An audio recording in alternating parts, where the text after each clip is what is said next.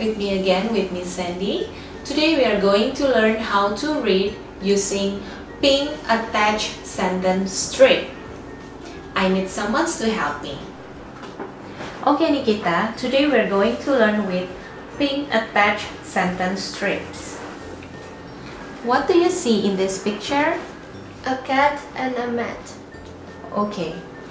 Every sentence will always start with capital letter and it ends with a full stop. Now, can you read this sentence? A cat on a mat. Okay. Can you put on the top of the table?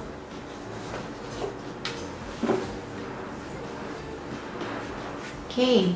How about this picture? What do you see in this picture? A mug and a rug.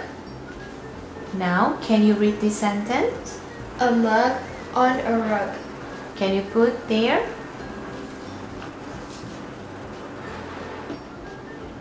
How about this one? What is this? A bag and a tag. Okay. Now, can you read this sentence? A bag with a tag. Can you put it there?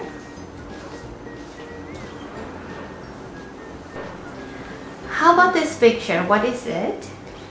A red peg and a keg. Now, can you read this sentence? A red peg on a keg.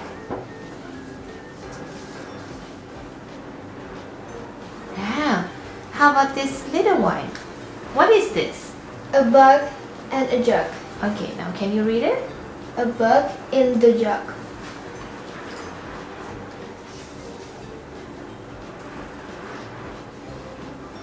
What is this? A cup and a tub. Can you read the sentence? A cup in a tub. Okay.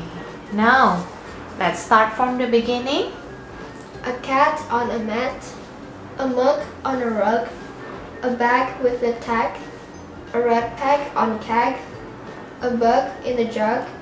Now, it's time for you to record all the sentences. Can you take your paper and your pen?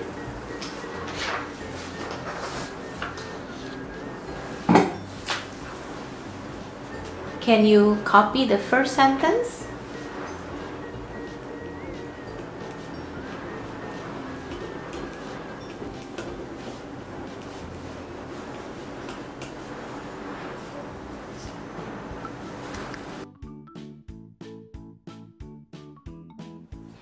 That's all for our presentation today. Now it's time for you to do your worksheet at home.